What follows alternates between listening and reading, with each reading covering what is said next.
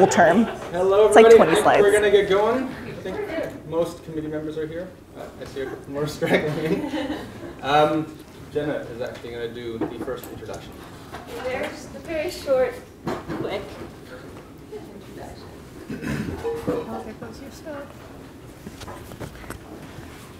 Oh my. Ah, don't look, everyone close your eyes.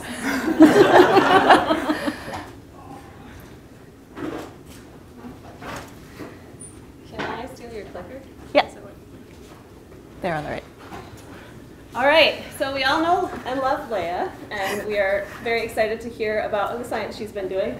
But I wanted to pass along some gleams of, or gems of insight from my experience getting to know Leah after, over the, la- the last six years, especially to the grad students in the audience. So, how to make your PhD feel like a party with Leah. oh no. So the first thing that Leah does is to get very organized. So grabs her Rite in the Rain notebook if she's going into the field. Maybe does some planning on a spreadsheet on the couch. And if you're like Leah, you're both organized in science but also in your personal life. And you can see on the bottom here a 25 tab spreadsheet of all of the Bond movies, which we all watched at Leah's house. Um, organized as to who's going to bring what dish. And even in the face of obstacles to organization, such as what is presented by some of her friends who refuse to actually commit to anything, Leah continues to be organized and get things done. The next thing to be aware of for making your PhD a party is to select a great venue. So if you are going to be doing field work, a lot of your time will be spent um, at your field sites, but you're also going to spend a lot of time doing other things. So you might need to explore your options, um, go on a road trip, see what the local area has, go check out some different climates, um, and maybe even in your own home, just make your own home feel like a really festive space. Very important for making your PhD feel like party is to have appropriate um, food, which Leah has really excelled at over the course of her time here, and I'm sure throughout her whole life this is a big priority, and it really makes things fun. Um, and bringing different foods from around the world and introducing people to um, a lot of new things has been one of the best things I think that we all have enjoyed about getting to know Leah. Um, you must dress appropriately, whether you are going to be doing field work or obviously being very much of a scientist here with Brian in lab coats. Um, maybe you're going to need to dress appropriately for something that actually involves costumes, or maybe you just want to be fancy in Corvallis and have limited opportunities, so make your own opportunities. And one of the best things that I think we all love about Leah is that she brings lots of people together from lots of diverse backgrounds and different parts of her life and makes everybody into a big group of friends. Um, and one of the best things that she's done is combine her passion for food and science and bringing people together into this annual party. So you can see a, a lot of us and a lot of people in the audience have gotten to go to these annual parties. She brings different species together, vertebrates and invertebrates. um, so, yes, that's one of the best things about Leah. Um, and one thing that I think we can all really, on a more serious note, sort of, we can take from Leah is um, to not be afraid to try new things. So, jumping into a whole new part of ecology, like um, freshwater science, and then being the first in her lab to actually do more genetics and molecular things or whatever that you'll learn about later, whatever it is that she does. um, actually going on into new ecosystems and trying, uh, being adventurous and trying new things, especially if you're here in Oregon for a short amount of time, taking advantage. So try something new. And then when you do something great, celebrate it. So if it's because you made a burrito the fastest, or you've done a really great job on your on your poster, or you're defending your thesis and you have this really awesome website, uh, make sure that you celebrate your successes. So with that, I will pass it back to Mark.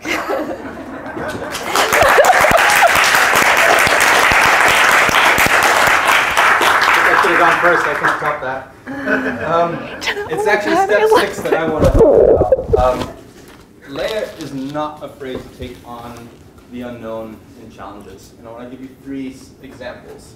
Um, the first is that Leah arrived as a seasoned marine ecologist. Um, she'd worked in Hawaii, she'd worked in Australia, she'd worked on uh, urchins and kelp uh, and lobsters in California. She'd worked for the Environmental Defense Fund, all doing marine-related stuff. And so naturally, in her first year here, she switched to freshwater streams. um, she joined a lab, a green PI, um, who had gotten lucky on an NSF grant to work in streams, but knew nothing about how to work in them. Not didn't know how to sample them, uh, didn't know how to actually mentor a PhD student working in streams. And so what she did, first summer, she went and worked with professionals. She went out to the USGS, she went out to the um, ODFMW, and spent the season learning um, how to sample streams, learning the skills, and, and even just the, the, figuring out what equipment we needed at the lab. She came back and taught us um, how to do stream ecology in the lab. Um, and so for that second challenge, um, um, I, am grateful to you for getting us set up. The second challenge, you'll get a you'll get a sense of um, in, in, in some of the chapters, but um, the choice of study organisms, crayfish. Um, crayfish have taken us down some roads that I did not imagine, certainly in the model fitting end of things. Um, but and, and, you might get a taste of that a little bit later. But as Jenna alluded to as well, um, they had also not shy away from moving out of bread and butter ecology. Um, she started working on crayfish microbiomes. And you may be thinking, how, how could Mark ever advise someone working on microbiomes and genomics? He knows nothing about that. And you'd be right. Um, so what did Leah do? She got herself an NSF fellowship. Actually, she got two, but she had to decline one. Um, to go all the way to Sweden and actually learn how to do this stuff. Um, and, and that's what you'll see in her second chapter, or third, third chapter, um, about the work on, on crayfish microbiomes um, that she that she managed to, to pull off despite my inabilities, inability to advise her on that. Um, and, and then the third set of challenges um, that she hasn't shied away from are the, are the challenges of being underrepresented in science and in your community. Um, and I want to just point out, and, and, and, many of you are aware of this, but uh, the amount that Leah has done for our department and for the university, um, the things that she has, she has taken on, um, the, the amount of education she has uh, pursued, uh, not only in her own um, uh, education, but that of, our, uh, of others, the amount of change that she has tried to effect is impressive. And, and just one little data point on that, so to speak, is that in the time that she's been in my lab, she has mentored and, and or advised over 22 undergraduates by bringing them um, into, their, into her own science or through, um, through society programs and things like that, has touched on, um, on the lives of individuals. Um, and I think for that, all of us should be grateful. So with that, hit it. Oh, man.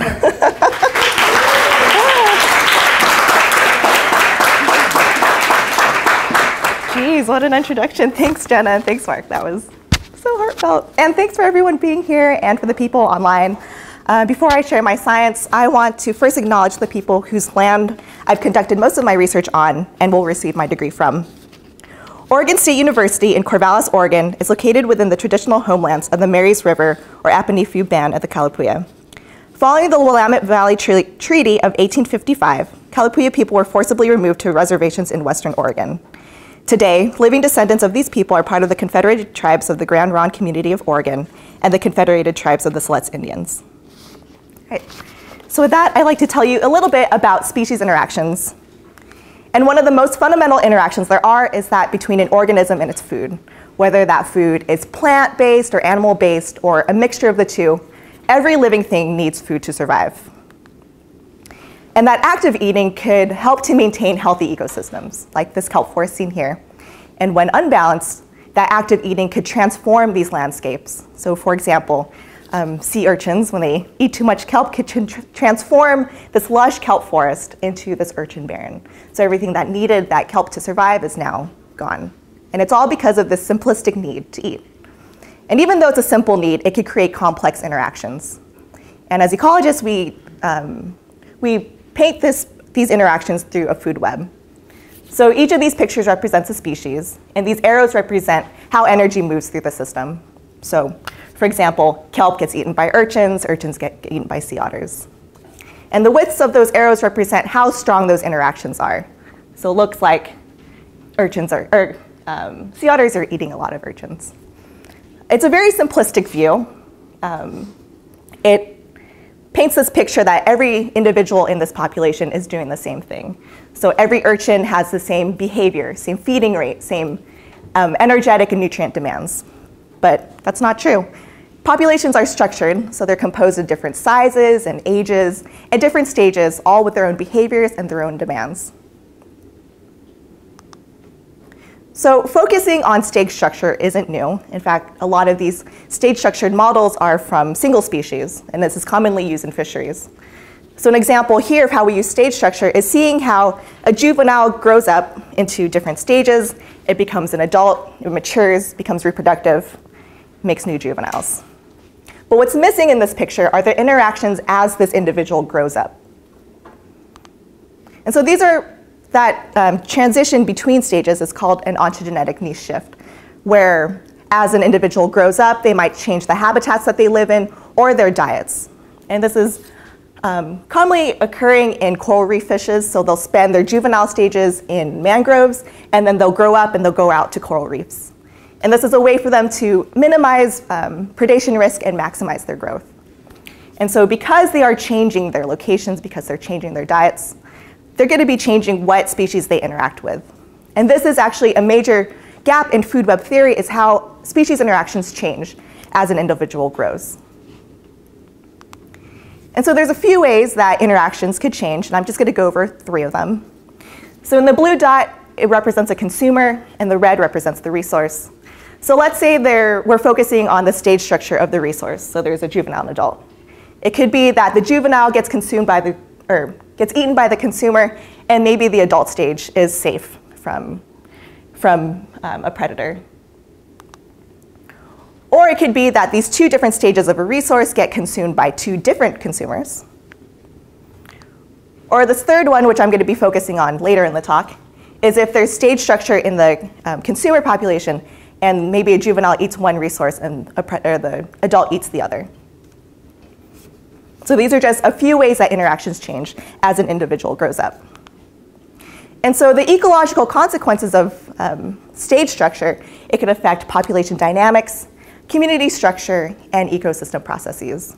And these are three of the chapters that I'm going to be talking about today.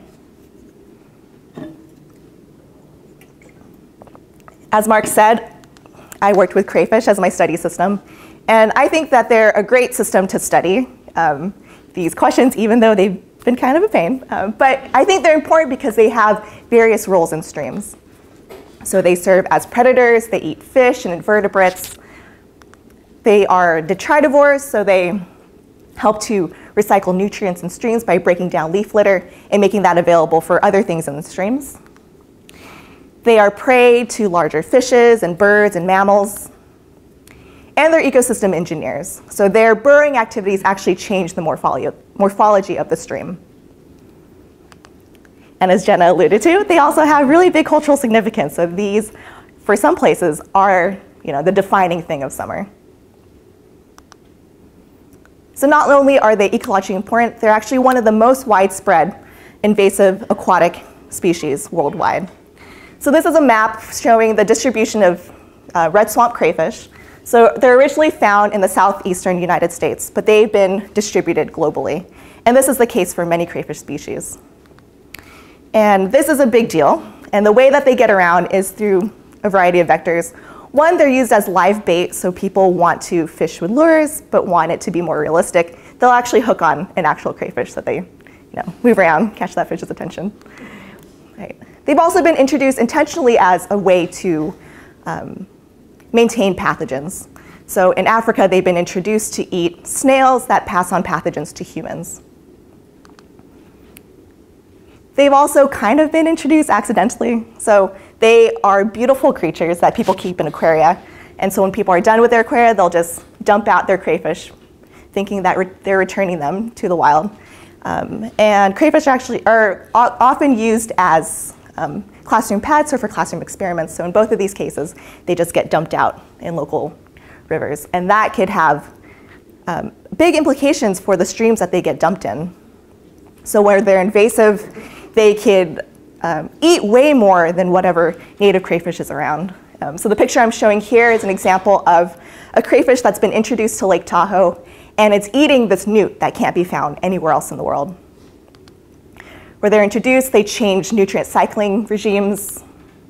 They're prey for animals that like didn't have a prey source to begin with in these areas that they've been introduced to. And they've been, they cause major impact on our infrastructure. So this is a picture of a bridge in Oxford and our crayfish that's been introduced there has actually caused so much damage to the streams that it's causing bank instability. So they'd actually had to close this bridge down. So crayfish could have major impacts. What I find particularly interesting about them is that they have this really interesting life history. So for more, most animals, as they grow bigger, they are able to catch bigger prey, they're able to eat more food. But what's known about crayfish is that they do the opposite. So they have this ontogenetic niche shift. So as juveniles, they eat mostly bugs, and the idea is that they're trying to get a lot of protein so they could grow quickly. And as adults, they eat mostly detritus. And some say the reason for that is that once they get so big, they get too big and bumbly and they can't quite catch mobile prey. So I found this a really interesting system to ask questions about ecology about ontogenetic niche shifts. So today I'm going to use crayfish as a study system to look at how stage structure affects population dynamics. We're going to dive into their guts and look at community structure, and then as well as ecosystem processes. And so for population dynamics, I'm going to take a focus on feeding rates.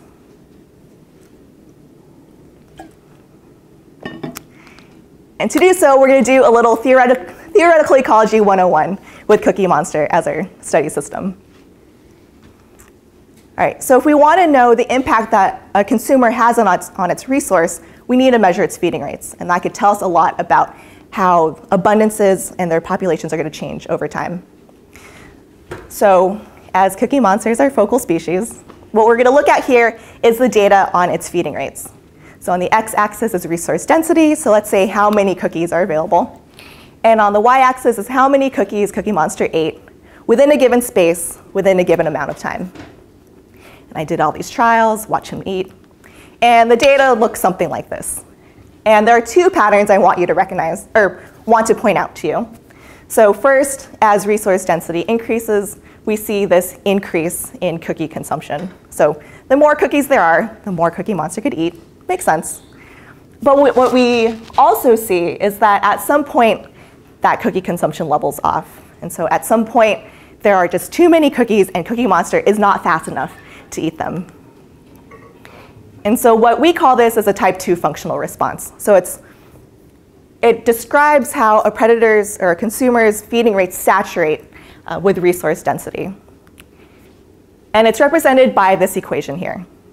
And so the two things that I want to point out about this equation are the A and the H. So A standing for attack rate and H standing for handling time.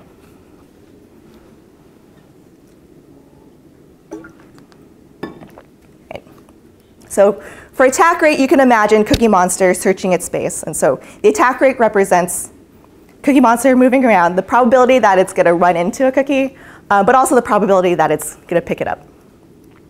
And then the other part to this is handling time. So it's the actual time Cookie Monster takes to handle or kill, ingest, and digest that resource. So these two components, attack rate and handling time, they're not static, and in fact, they could be influenced by an individual's metabolism. So according to the metabolic theory of ecology, metabolism governs biological processes from individuals all the way up, up to ecosystems. It is um, this grand unifying theory that could predict things about um, growth rates, mortality rates, and for my purposes, feeding rates. And the two things that influence an individual's metabolism is their body size and their temperature. Oh, yes. So can it predict feeding rates? All right, so I'm going to go into the predictions for body size and temperature, or starting with temperature first. So as temperature increases, based on metabolic theory, we could predict that attack rates are going to increase and handling times are going to decrease with temperature. and the reason for that is um, if you are an ectotherm, the warmer it is, the more you're going to be moving around, the most, more likely you're going to run into a resource and probably get it.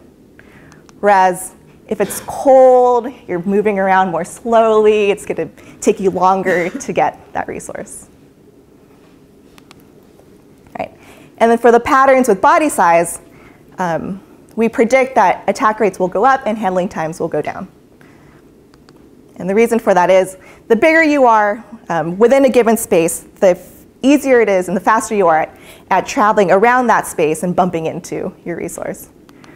Whereas if you're smaller in that same amount of space, it's going to take you a longer time to be able to go through that space to find your resource. So we've taken into account body size and temperature with metabolic theory. Um, but what I think what's missing from this theory and from functional response experiments is stage structure. So what happens as an individual goes from juvenile to adult? Um, if they have one diet uh, when they're juveniles and then they switch diets to when they're adults, do these theories still hold true? Luckily, we have a study system in which an organism does that. So because juveniles switch from eating bugs, or sorry, as crayfish switch from eating bugs as juveniles and leaves as adults, do these predictions from metabolic theory hold true if I'm only looking at one type of resource? And so the goals of this chapter are to first explain patterns of feeding rates by body size and temperature, compare the performance of unstructured versus structured functional response models, and estimate body size and temperature dependence of attack rate and handling time.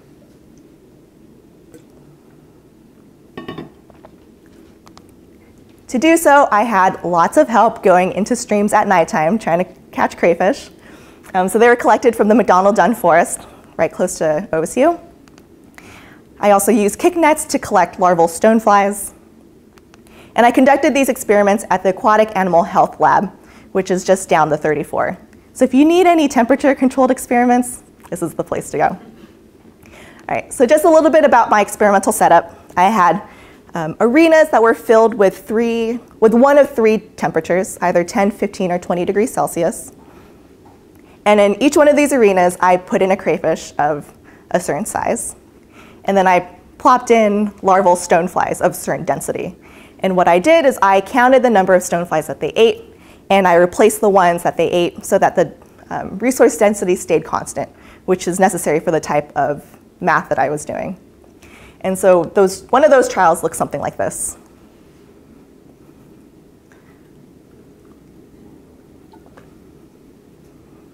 Boom.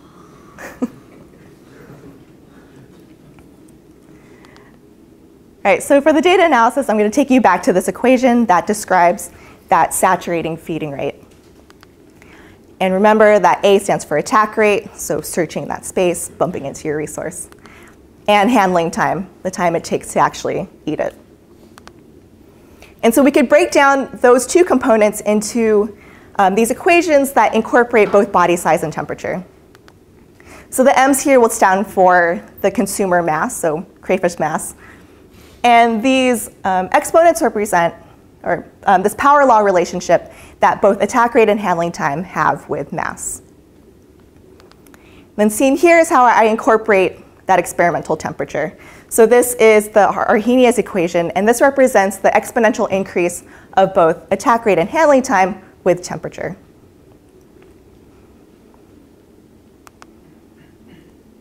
So the goal of this model fitting is to get parameter estimates for these values. So looking at both handling time and attack rate and how body size and temperature affects those measurements.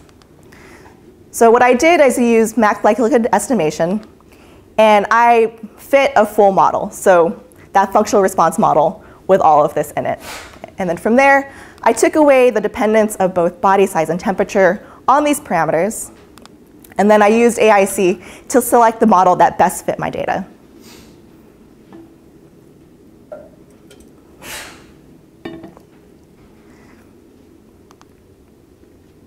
So the way that these models are usually structured is that body size is this continuous measure. But what I'm interested in is if the effective body size matters whether you're a juvenile or an adult. So whatever best performing model came from, from that first analysis, I repeated that for only juveniles and only adults. And then I took the likelihoods from those models, combined them, and then compared that to the model that was not stage structured.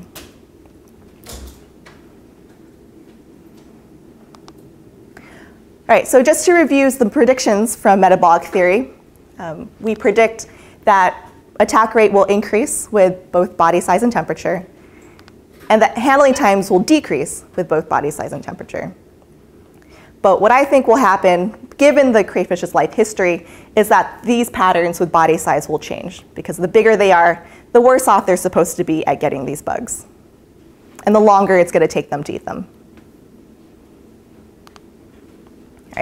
So I'm going to show you a series of three 3D plots, and I'm going to step you through um, kind of what to train your eyes on.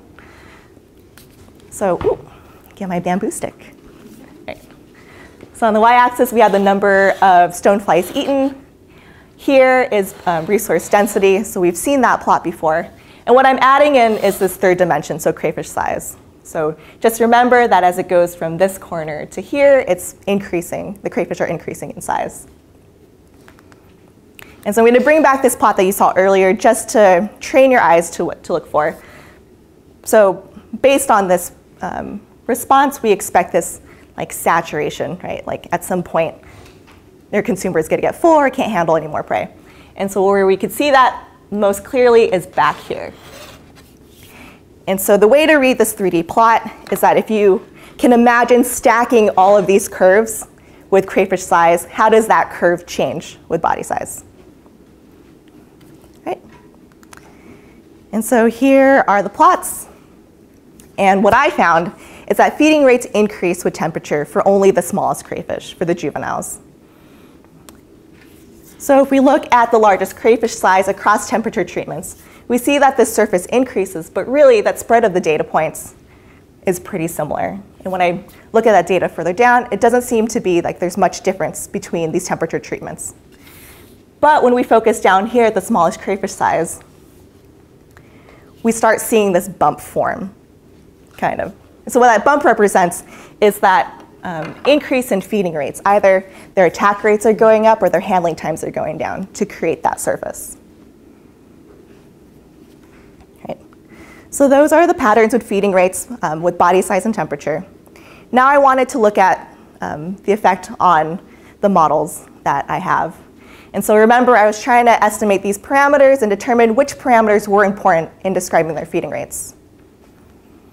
And so briefly going over some model, model results, I found two um, top models that were indistinguishable from each other with an AIC less than 2.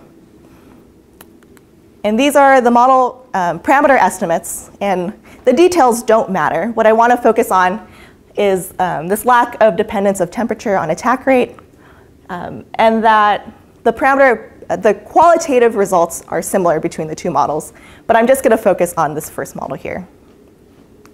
So just to summarize that table, I did not find an effect of temperature on attack rates.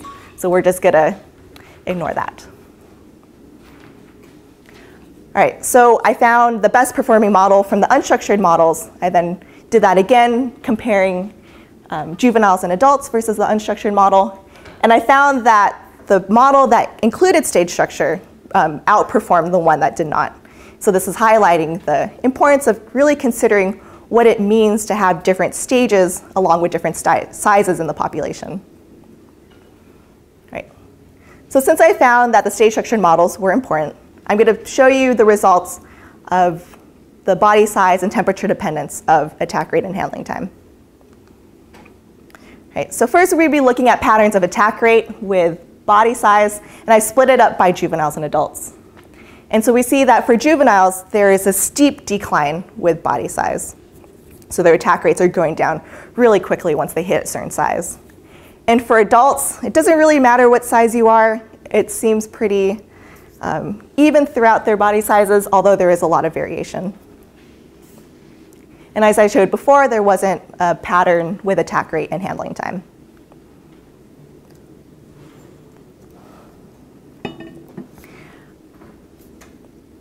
Oh, um, so now we're going to cover handling time. looking at patterns with body mass, I see that there is, again, the steep decline with um, handling time for juveniles and not so much, again, for adults, but there is still this negative relationship. And with temperature, they both have this declining relationship. So taking it back to our predictions based on metabolic theory, um, I expect this positive relationship with body size and temperature, but flipped for handling time. And what I found is that there's this decrease in attack rate with body size, which is what I had anticipated based on their life history. For the top model, I did not see a pattern with temperature, and then that this pattern, declining handling times with body size and temperature, um, held true with metabolic theory. So in summary, I found stage-specific responses to temperature. Um, patterns with body size and attack rate did not hold true, not by predicted by metabolic theory. And that functional response models with stage structure outperform models without stage structure. All right, so what does that all mean outside of crayfish? Okay, so we found that temperature has an effect on feeding rates, but only for the smallest crayfish. And so if temperatures are going to continue to warm, the largest organisms are going to be um, most drastically affected by it. And it's because their metabolic rate is going to continue to increase, but if they can't increase their feeding rates to match that energetic demand, they're actually going to end up starving. And so the, for ectotherms, it would help them to actually be smaller body sizes. So following or predicted by Bergmann's rule or the temperature size rule, so that smaller organisms are found in warmer temperatures. Um, this physiological change to being smaller, either because smaller body organisms have a higher body size, but, or a higher surface area to body ratio, so it's easier for them to expel heat, or there's other um, physiological changes as you are smaller. Either way, the shift towards smaller body sizes are going to change species interactions and change the structure and dynamics of communities. All right, so for the first chapter, we focused on feeding rates. And now for the second chapter, I'm going to focus on what happens once a consumer has its food and the communities that reside within them. So microbial ecology is a growing field as scientists begin to understand the importance of microbes on both human and animal health. But despite its importance, um, information about uh, dynamics, persistence, community assembly is not very well known. As Dr. Ian Moreland said, our abilities to describe these communities is just like saying fish live in water. So we have a long way to go, but we can leverage ideas from ecology um, to understand how these communities change over time. And for my purposes, I specifically looked at um, meta-community theory. And so this theory examines how the dispersal of organisms between communities um, alters local and regional dynamics. And a key component, or one of the key components to metabolic, or sorry, to meta-community theory is the species sorting paradigm. And so there are local environments with environmental gradients that are suitable for certain types of species. So we could um, use crayfish as a study system to see that. So if we imagine this regional species pool, so all this um, bacterial taxa that are available in the environment, and we can imagine crayfish as hosts. So they have these internal environments that are suitable for not all, but some of these microbes. And there's a few ways that their microbial communities could change. So first, how do they get their microbes to begin with? Well, maybe the microbes attached to their food items. These different types of crayfish, juveniles and adults, maybe have different diets so that they're consuming different microbial communities, communities, and the microbes that get there, only some of them could persist. And so there could be traits within the host that could affect that persistence. One of the ways could be whether that host is a juvenile or, or an adult. So is there something about their physiology, their hormones, the difference between growth and reproduction that causes changes to the microbiome? Or are there differences between sexes? So for crayfish, for females, they carry their eggs for a few months and then they carry their live young for about a month after that. And then for males in crayfish, they are the more aggressive of the two. So is there something about the different types of stresses that they encounter that affect their microbial communities? So the goal of this chapter is to first describe the microbial community composition within their guts, on their foods, and in the aquatic habitats in which they live. Measure the alpha and beta diversity of crayfish gut microbiota between diet treatments. And three, determine the effect of life stage and sex on gut microbial communities. Um, so there's a lot to cover here. I'm only going to focus on broad scale patterns, but if you're interested in looking at more of the, the models that I ran and the stats that I ran, let's talk later. All right, so as Mark said, I did this chapter in Sweden at Uppsala University with my collaborators Richard Svanbäck and Javier Ido And I worked here in Lake Erken, which is Uppsala University's field station. And the reason why I went to Sweden, well, one, to go to Sweden, why not? But two, our native crayfish from here was introduced to Northern Europe. And so back in the 70s, their noble crayfish fishery was declining because of this fungal pathogen, the crayfish plague, that attaches onto their gills, basically suffocates them. So because crayfish are such an important resource um, in Northern Europe, they brought over our crayfish over there. But it turns out that our crayfish were carriers of the plague and they were spreading it, but they weren't affected by it. So that started in the 70s, and there's, um, there's some movement now to try to restore these natural populations.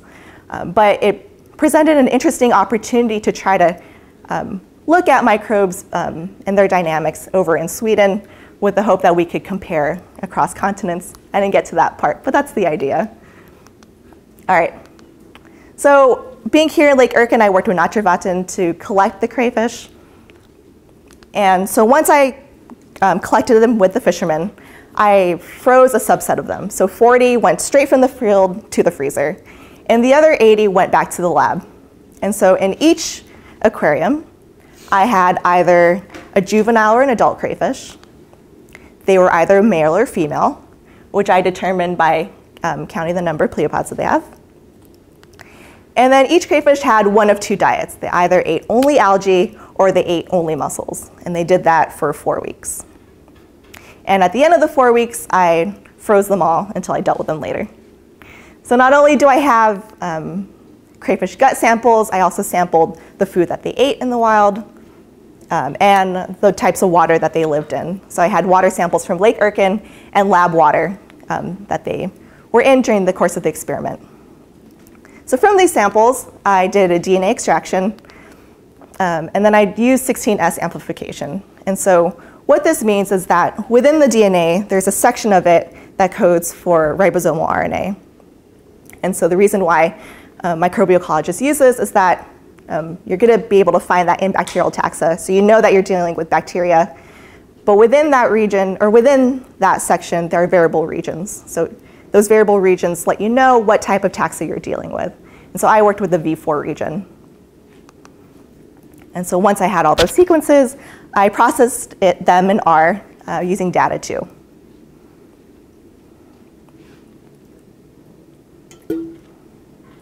Right, and so now I'm just going to look at broad patterns in taxa between these treatments.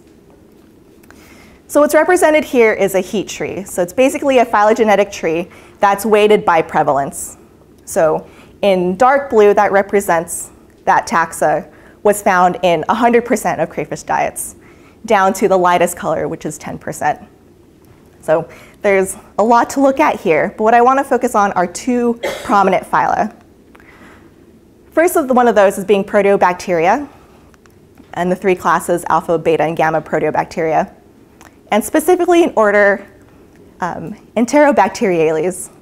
And so this is a common um, bacteria that is found in invertebrate hindguts, and it's known to help out with plant assimilation. And so whether it deals with um, amino acid synthesis or assimilation of plant compounds, I believe that this taxa allows um, crayfish to really get energy or nutrients or whatever it needs from plant material, which is especially helpful if a juvenile ends up eating algae, which it probably shouldn't uh, if it's trying to grow, but it's able to get whatever energy or resources it needs to grow. The second most common um, taxa that I found were Firmicutes, and they were twice as common in adults as they were in juveniles. And the, this phyla is associated with material breakdown. And so two orders, Lactobacillales, this is known for plant decomposition, and Clostridiales, known for amino acid degradation. So it looks like these gut bacteria are helping out with digestion, and the type of taxa that help out with digestion might be related to the types of diets that they have as they go from juveniles to adults. All right, and now I'm going to look at community composition um, for the different types of crayfish guts, what they ate, and the waters that they lived in. So first, we're looking at crayfish um, guts broken up into the diet treatments. So ones that were in the lab that only ate algae, ones that were just taken from the wild, and ones that only fed on mussels. And what we see here is this dominance of this purple bar, so proteobacteria, which is to be expected because it's very common in aquatic systems. But the thing that stands out here is this, or, um, this appearance of Firmicutes, so this yellow bar, that we only find in the wild crayfish and not ones in the lab. So looking at their water, looking at the waters that they lived in, both the lake and the lab, we don't see as much of that purple bar, so not so much um, proteobacteria, but we see this increase in actinobacteria in lake water versus the lab. And now we're going to look at their prey items, so both algae and mussels. And the first thing that stands out to me is that it looks an awful, a lot like um, the bacteria that's found in crayfish guts. So this dominance of proteobacteria. So these are the two diet items that are common in the field and what I used for their lab experiment. But I also collected a chironomid, so this is fly larvae, that I also found in their stomachs in the wild, but I didn't use for the experiment. And we see um, the presence of firmicutes, which we only see in the presence of the wild crayfish. And so what this suggests to me is that maybe there's other animal sources that crayfish get this bacteria from and that their gut microbes look an awful lot like what they're eating and not so much the waters that they live in. So quickly looking at um, the number of taxa that are in each of, these treatments. So just the number of bacterial taxa um, within algae, wild, and mussels. And I find that there's no clear difference between them. So the number of taxa present in their guts doesn't matter between what they ate or if they're a juvenile or an adult. So that number seems to stay consistent.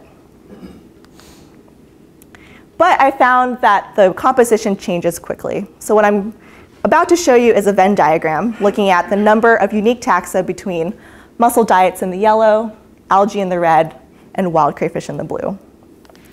And these numbers represent the number of taxa found um, within each of those segments.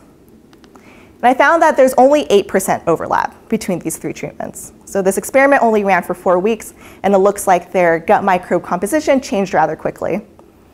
And based on the models that I'm not going to show today, I found that diet and stage only explain about 10% of the variation in their microbial communities.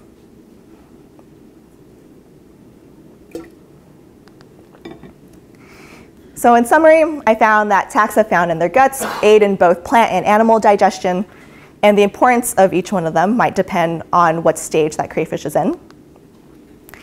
The gut microbial community composition reflects those of its prey items and not so much of the waters that they came from, and that their microbial communities change rather quickly. However, I did find low explanatory power in the models that I used. And so another component of meta-community theory is that dispersal between communities. And so what I had done in my experiment, I had isolated the crayfish.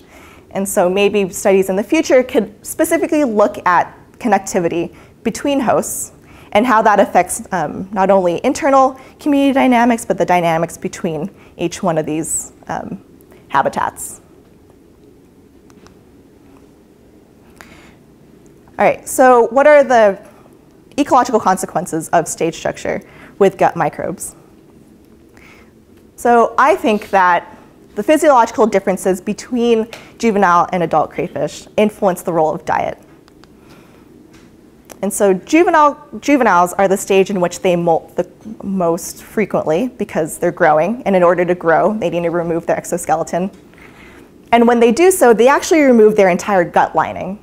And so maybe um, by having going, going through this process so quickly and so frequently, by removing their gut lining, they're resetting their microbiome, possibly. And then over the course of my experiment, I did this over late summer. And so I could see that the females were filled with eggs that they were ready to extrude um, to reproduce. And so maybe there is this change physiologically for um, adults and specifically for females um, to be able to go through this reproduction. And maybe that has this change on their microbiome as well.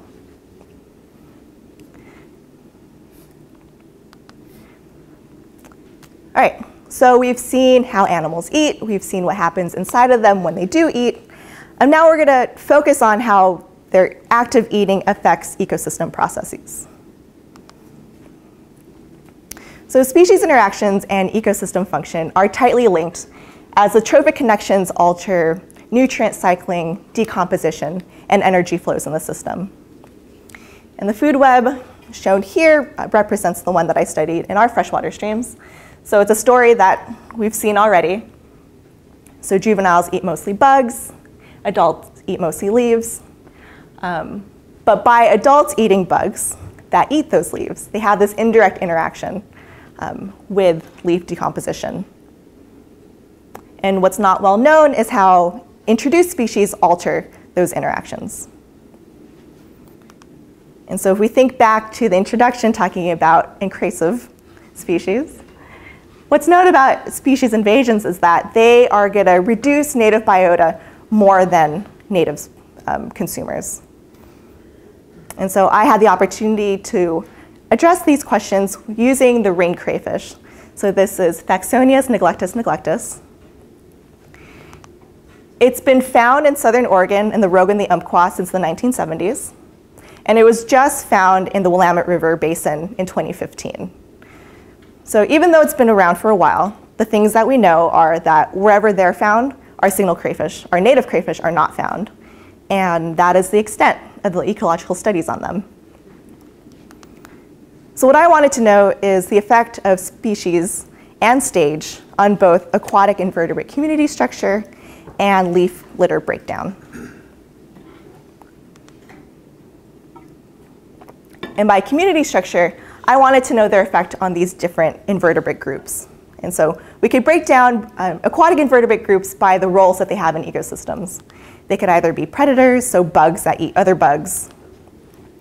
They could be shredders, so similar to crayfish, they're the ones that eat leaf litter, break them down, and break them down into small particles that are then available for collectors that collect those particles.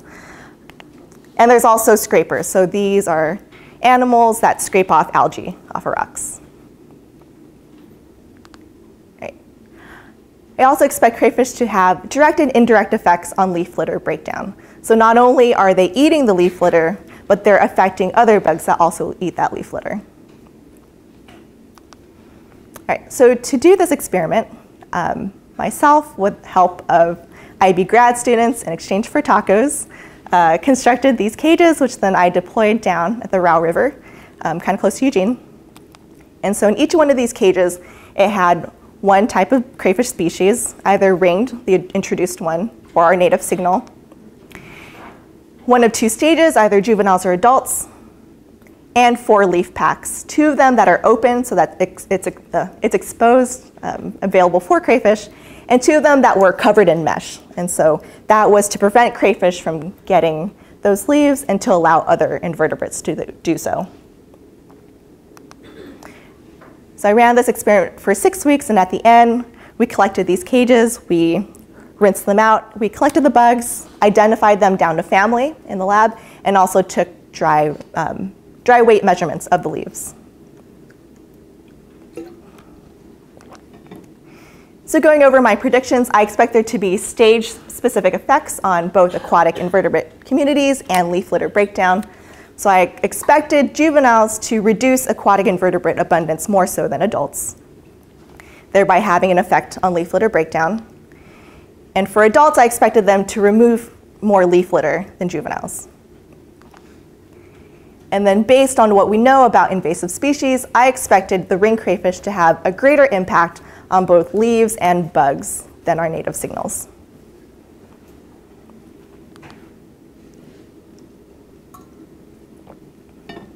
So what I'm going to show here are a series of plots looking at each of those functional feeding groups. And this first plot is going to focus on just the overall bug abundance within each one of these cages. So they're grouped by species, both ring and signal. And the colors represent the ontogenetic, ontogenetic stage, either juvenile or adult. And what I found was that stage was important in determining how many bugs were around. And specifically, that there were more bugs in treatments with juveniles than with adults, which is counter to what I expected. For the shredders, I found that there were more shredders with juveniles than adults, which follows that pattern of overall bug abundance. But with the other functional feeding groups, it didn't matter what species or what stage was in these cages their numbers did not differ.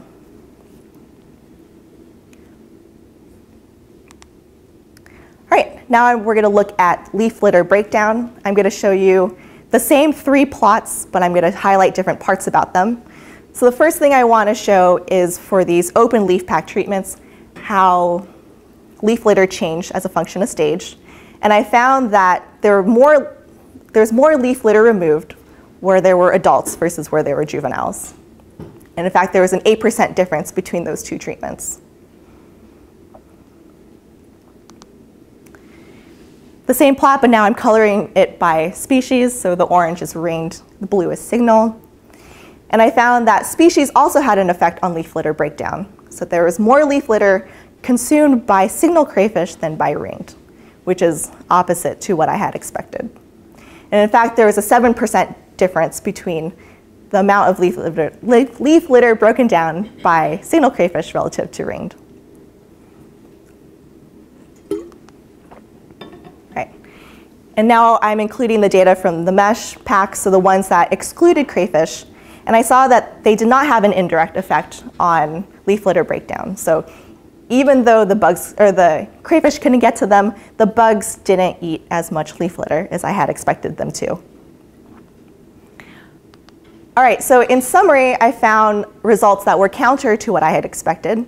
So I did not see fewer bugs with treatments with juveniles. And I did not see this indirect interaction with leaf litter breakdown. Um, but I did see more leaf litter consumed or broken down by adult crayfish. So a few reasons for this discrepancy are, one, maybe adults are actually eating the bugs, and I didn't measure that. Two, um, it's possible that adults emit um, well, crayfish do emit chemical cues, and it's possible that crayfish emit more chemical cues than juveniles do. And so maybe there's this threshold for bugs to be able to recognize that there is indeed a predator in their midst.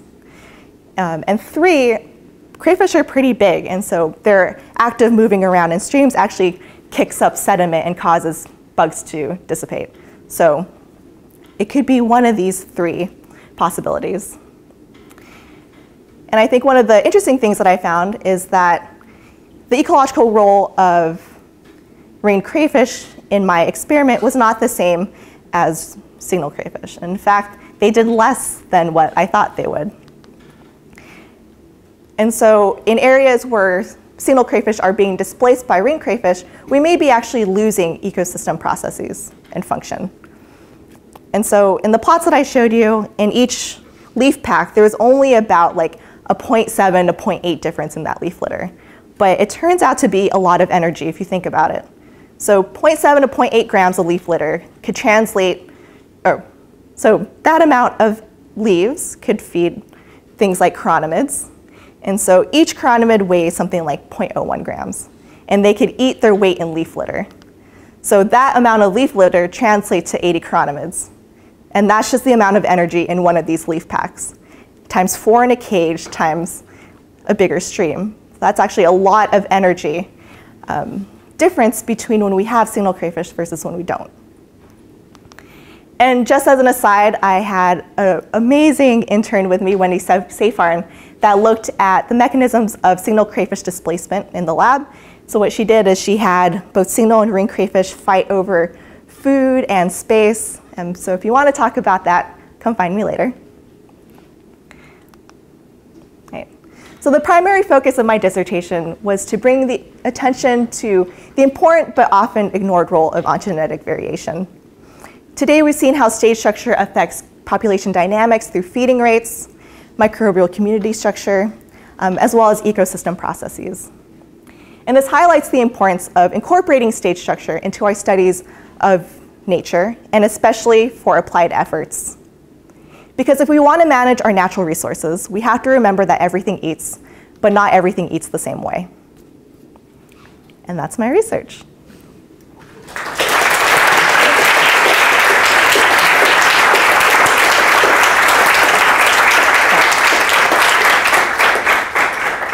So being here for six years, I have a long list of acknowledgments, probably longer than any other defense this term, so stay tuned. All right, so first I'd like to acknowledge my funding sources. I've had a tremendous amount of support to do all the research that I've done everywhere that I've gone. So I am incredibly thankful for especially the NSF and the additional funding opportunities that they provided me. And I just want to thank my committee members, um, Felipe for joining this term, thanks. Uh, Rushali, Jason, Mark, and Dana, thank you for your time and your support and your willingness to help me out when I needed it. I also want to thank the integrated biology staff, all the T's plus Jane. Uh, we like wouldn't be able to function as grad students and get paid if it weren't for you. So thank you so much. And I, I have to, I can't even say how grateful I am to have been in your lab, Mark. Um, just the amount of patience and support you've shown me through the ugliest code and the worst of drafts. I'm, I'm very grateful. Um, and I'm grateful that you've given me the space to explore the type of scientist that I want to be. And I have many more things to say, but I'm just going to summarize that in those two sentences. Right. Next, I'd like to thank my lab, past and present, who have been just incredible support in the field through many practice talks, just through just trying to figure out how to start up a lab with a new PI. It's, it's been a great experience. I also want to thank my bug brigade. So these are the interns that worked with me, and without them, I would not have a third chapter at all. I especially want to thank Wendy. She did an incredible job with her honors project. Um, Mateo for really pulling the weight at the end when I really needed those samples to be done, and for Cindy, who processed a lot of water samples um, in a chapter that I did not have a chance to present today. So totally grateful for all of you. Um, and as Mark said, I spent my first year just hopping on any field crew that I could find to learn how to do stream work. So I am forever grateful for Dave and Doug for just showing me what a stream is and how to catch fish and maybe sometimes catch them upside down. Really thankful for that. Um, Bill Gerth for taking me out into the field and teaching me about bugs. Um, and I also had an opportunity, a couple opportunities to learn about how science could be used outside of academia. And for that, I'm really grateful for Deb Merchant at the Marys River Watershed Council and for Sarah Colasar and Lisa Cox for giving me that professional development opportunity that I couldn't get here. I'm also really grateful for the people that I met at Uppsala University, specifically everyone in animal ecology for helping me out when I had no idea what I was doing, um, especially my lab mate Javi, who had such positivity even though our PCRs wouldn't work, and now I know what that means and building shrines for them to work. I see you now. Um, and just being such a positive force, especially when I thought I didn't have any data for like half a year. So thank you. Um, and to Marcus Morrow, Askashois Nautem Gavetas.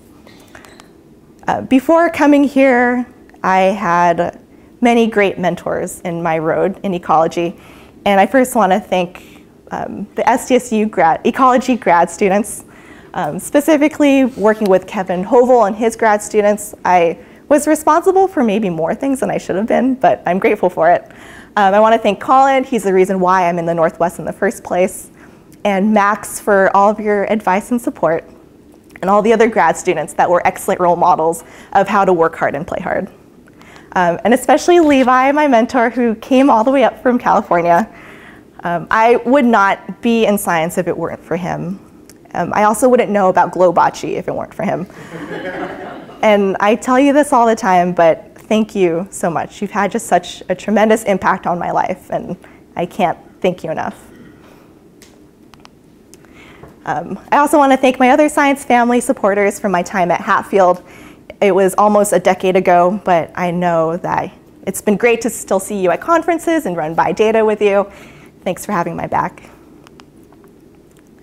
And I want to thank a number of people who were not grad students and indeed showed me a life outside of grad school and showed me how beautiful a place Oregon could be. So Deshawn, Amy, um, Travis, Amanda, and Shane.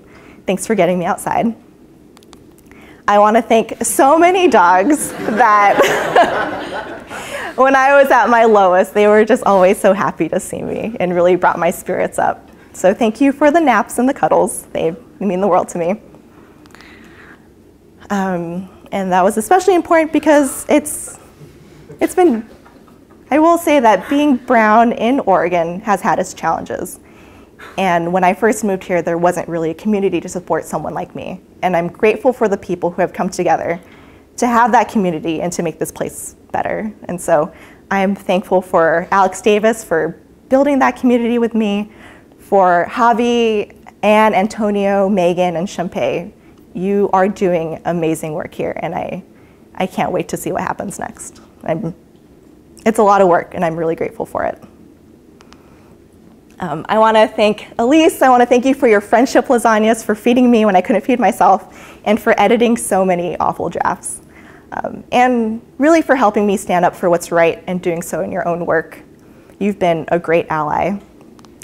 Um, and talking about feeding, thanks to Bharat for having the best goat in Corvallis and also feeding me. Um, I've had many silly adventures with great people here. Um, so thanks for an amazing time. I especially want to thank Felipe for all of your help and your sass, for Pat always scheming, and for Javi for being like a big brother to me for the past six years, and you'll still be that when I'm gone too. Um, I'd also like to thank my sparring partner, my business partner, and my partner partner Alex for indulging my love of martial arts and spreadsheets, and for bringing a great company in the kitchen. Um, thanks for everything. And then I also want to thank my mates, my academic big sisters, Alex Davis and Allie Barner. They are two of the strongest and smartest women that I know. Thank you for all of your support, either for like moral support when I was feeling down or for helping me pick up a lipstick shade. Either way, you're always there for me. Um, and in the words of Dominic Toretto, I don't have friends, I have family. And I have had an amazing cohort family during my time here. And I, I have too much to say about every one of you here. So I just want to say that you've been an amazing group of best friends. And I can confidently say that there will never be as great of a zoology cohort ever again. So family, it's, it's such an umbrella term. I have many family members to thank. Um, BioFam, A1, A2, Dragons, and my actual family. Thank you for taking care of me when I'm home and for cheering for me when I'm not. And lastly, I want to thank my parents, to my mom who really instilled that passion for food and party planning, and for my dad who got me to talk to strangers and reminding me that I could do anything. And I'm sorry if my accent's bad. I practiced with Tita Feli last night. Habang ako ay tumatanda ay napagtatanto ang lahat ng nagawa at ginagawa niyong dalawa para sa akin. Hindi ko kayo mapapasalamatan ng lubos para sa lahat ng inyong pagmamahal at suporta. Para sa pagputad at kung saan man ako dadalhin ng mga pangarap ko. And that's it.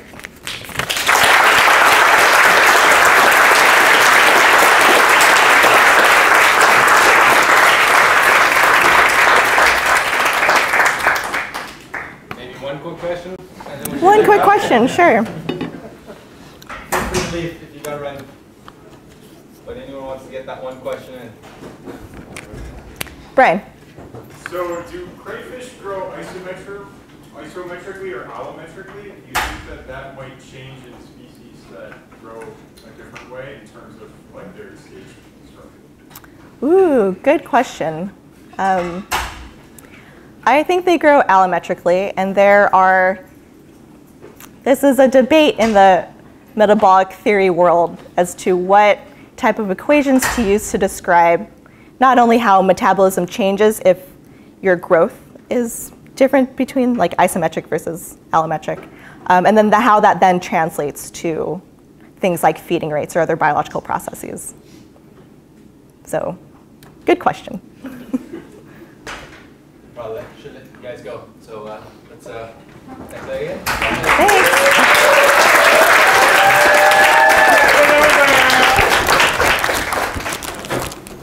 I try to find you.